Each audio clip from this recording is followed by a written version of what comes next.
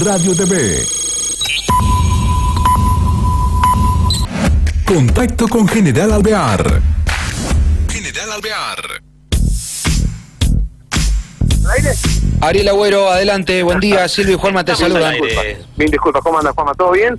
Excelente, todo tranquilo, Bueno, Ariel. trabajando aquí en el Multipacio Cultural Bodega Faraón en San Rafael, porque en este Día Mundial del Arte acaba de inaugurarse una obra de arte, estamos participando del acto, donde el artista mm, Diego Brayac, un artista reconocido mundialmente, que vivió hace un tiempo en la zona del Escandinava, que es General Alvear, ha vuelto al departamento para realizar una muestra de sus trabajos, junto con otro artista, en este caso el alvearense Walter Álvarez, un artista no vidente, que también ha puesto sus obras aquí. Vamos a eh, charlar brevemente, chicos, con Gabriela Chapa, Bien. de la organización de esta muestra del Museo del General Alvear aquí.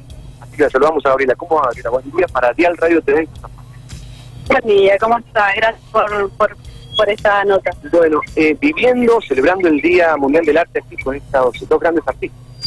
Sí, la verdad que, que fue una gran puesta, fue una, una gran puesta y una apuesta, eso de juntar a dos grandes artistas, eh, uno como Drago Brajac, que es reconocido internacionalmente, y Walter Álvarez, que es un artista no vidente, que ha hecho unas esculturas realmente mágicas, como decíamos, casi angelicales.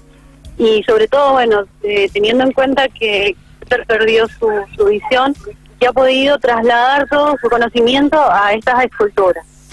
Eh, Gabriela, eh, ¿hasta cuándo van a estar a disposición estas muestras? ¿Hasta cuándo se va a realizar este? Bien, eh, damos hoy la inauguración de esta muestra y va a estar hasta el 31 de mayo en la bodega Faraón.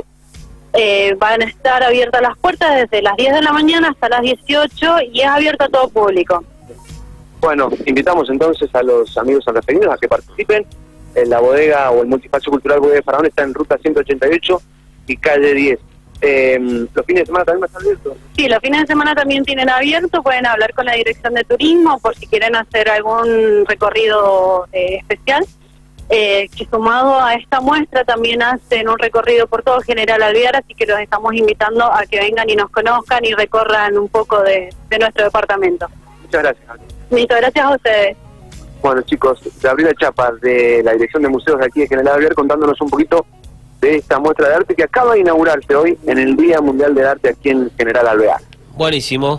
Vamos a ver si mandamos a alguien para que se dé también una vuelta y de Claro, paso por paseamos supuesto. también. Excelente. Por favor, yo sé que Kili Cortés del arte y por ahí gente se da una vueltita por los museos. Dale, buenísimo.